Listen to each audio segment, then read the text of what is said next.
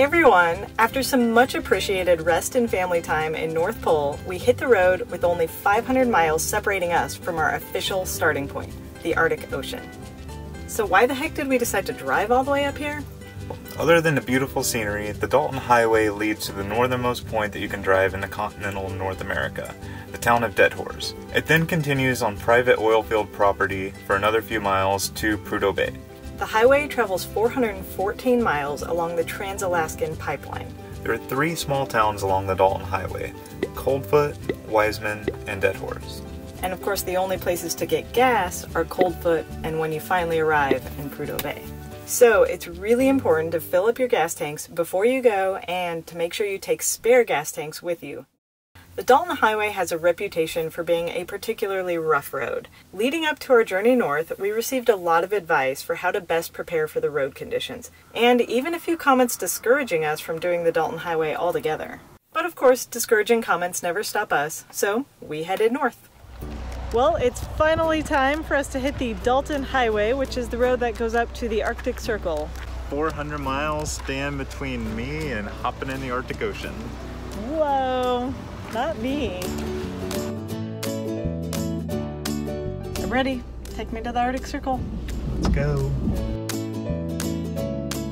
As we were driving on the first day, I couldn't stop looking at the pipeline. I knew the highway went along the pipeline, but I didn't realize how visible it was going to be the entire drive. Even though it's a man-made object, it has a certain kind of beauty when you think about the feat of engineering it is.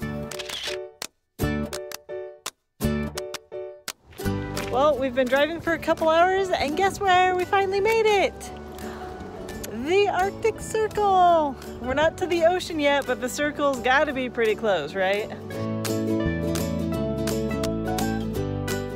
After a long day of driving, we coasted on fumes into the small town of Coldfoot for a gas stop. $70.33. Holy moly! And when I went in to pay for the gas, I smelled the most amazing buffet ever. The buffet at the Coldfoot truck stop was a pretty unexpected surprise. It had roasted lamb, fish and chips, a hearty soup, and a great salad bar. We decided to drive a few more miles before finding the spot we would boondock for the night. Now there are pullovers all over the Dalton Highway, and you're allowed to camp at them unless there's a specific sign saying you can't. We found a really great spot just after a bridge down by a river. It was close to the highway, but it was really beautiful, and honestly, there wasn't much traffic. The next morning we woke up to finish the drive up to Prudhoe Bay. Shortly after starting the drive, we went over Atigun Pass. Atigun Pass is the highest maintained highway pass in the state of Alaska at just over 4,700 feet.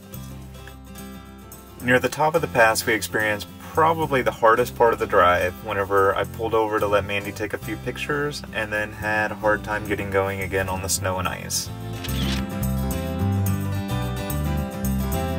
We're at the top of Atigun Pass and it is freezing up here, but the views are just beautiful and Rocky is having a grand old time playing in the mud. Urgh. Part of the reason we were in a hurry to get north so quickly is because we wanted to avoid any winter conditions on this road. Apparently in the winter it gets so bad that they have to put reflectors on both sides of the road so that the truckers will at least have an idea of where they're driving. After a long day of driving, we finally reached the town of Deadhorse and once again coasted into the gas station on fumes. We made it to Prudhoe Bay, exactly 240 miles from the last gas station, which is exactly how far we were able to make it. $5.60 a gallon. Oh my gosh. We have officially driven Rocky the Tab as far north as we can legally go without getting arrested. There's the uh, little access sign that says, don't go any further. We went further to the security gate and were Okay, promptly did. asked to turn around and go back to town. Oops, They didn't like it. they didn't like it. Well, we've driven as far north as we can drive, but we haven't made it to the ocean yet. In order to do that, we have to take a special shuttle from the Deadhorse Camp. And of course, we can't come up here without going in the ocean, so let's go.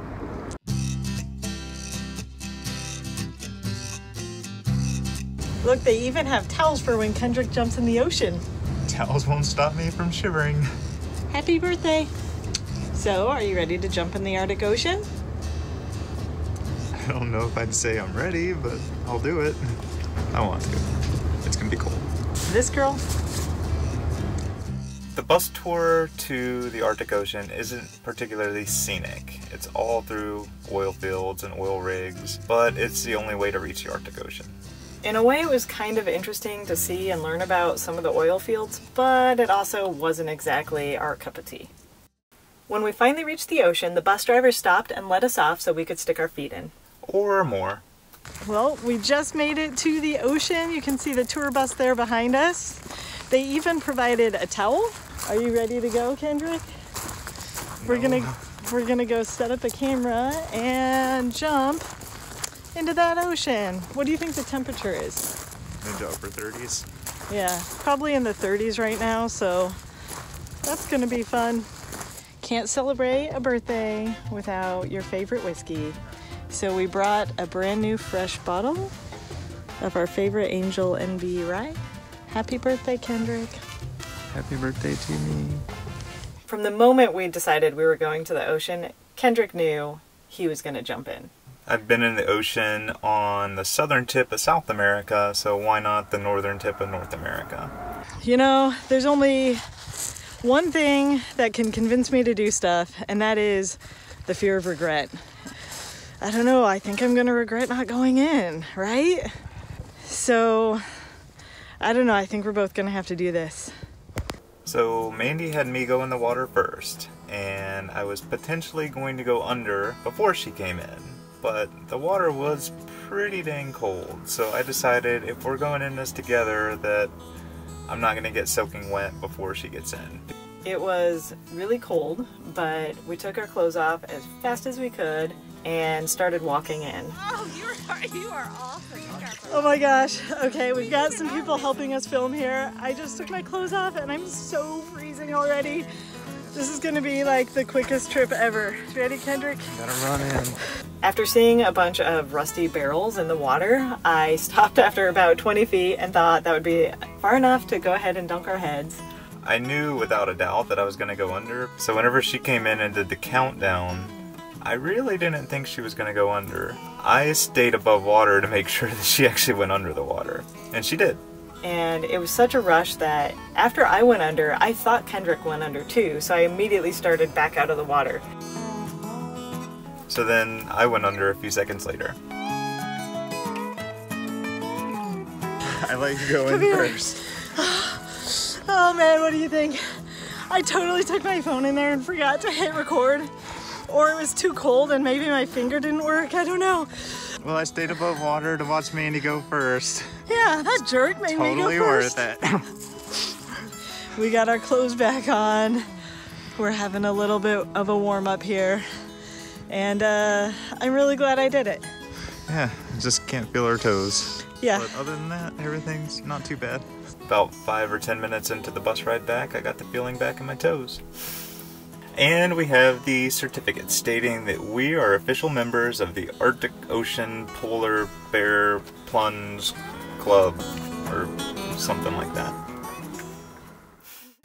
After having officially dipped in the Arctic Ocean, we found the only sign we could find that stated we were at the end of the Dalton Highway and took Rocky's picture next to it.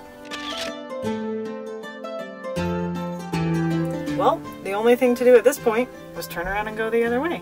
Time to head south, back to the North Pole. Uh, North Pole. That's what I said. We took two days to drive the highway back towards Fairbanks.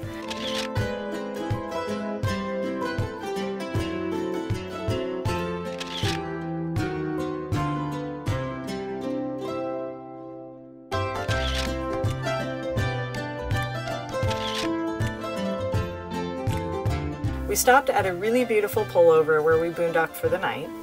When we pull over for the night, we often won't unhook the Jeep, but we will get the blocks out to make sure that we're level for the night.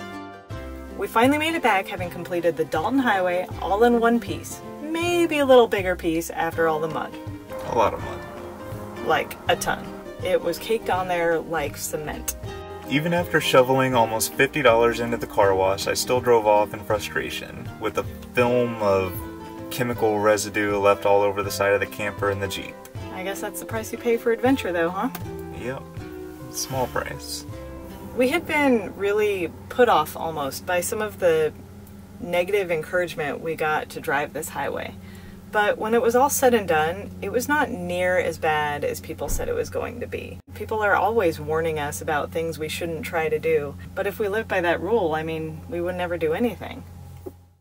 Overall, the Dalton Highway proved to be quite tame. I mean, there were potholes, frost heaves, things like that, but if you take your time and pay attention when you're driving and avoid things, it's a pretty easy drive. If you're looking for proof that sometimes it's more about the journey than the destination, then look no further than the Dalton Highway. Prudhoe Bay itself is a bit of a letdown, but the journey to get there is pretty breathtaking. With that behind us, I have one last thing I want to include in this video. I may have been watching a little too much Man vs. Food lately. I got this crazy idea that it would be super fun to make Kendrick participate in food challenges and share those with you guys. Because I mean, I'm not gonna do it. So I reluctantly agreed and found a challenge in Fairbanks that seemed like I might have a chance.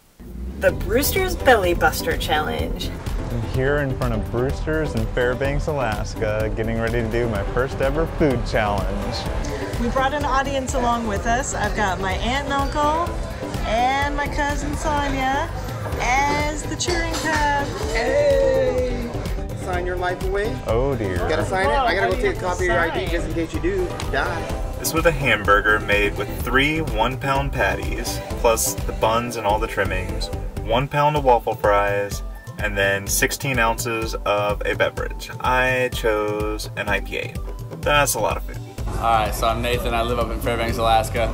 We didn't have a food challenge anywhere in town, so I saw the show Man vs. Food and I created this Belly Buster Brewster Challenge. I wish to do good luck. So when it first came out, my thoughts were, wow, that's a lot of food. Then, after the first bite of the burger, I thought, wow, that's a lot of really good food, because it was delicious. Pretty amazing.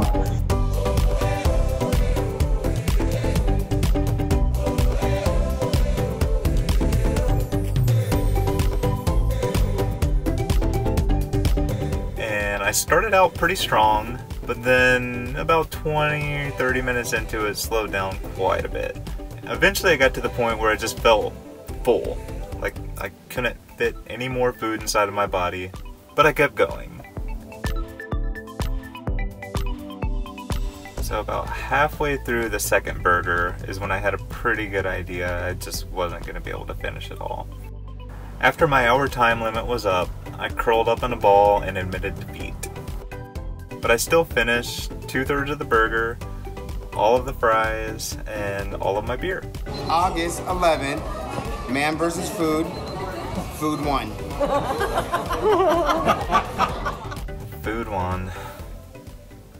We've had a pretty amazing start to our journey, and we can't wait to see more of Alaska. As always, you can get links to the interesting places we visited and things we did in the full write-up of our blog on our website, roamingwithrocky.com. And so, with a belly full of burgers, it's on to Denali. Here's to exploring more of the last frontier. Love and light.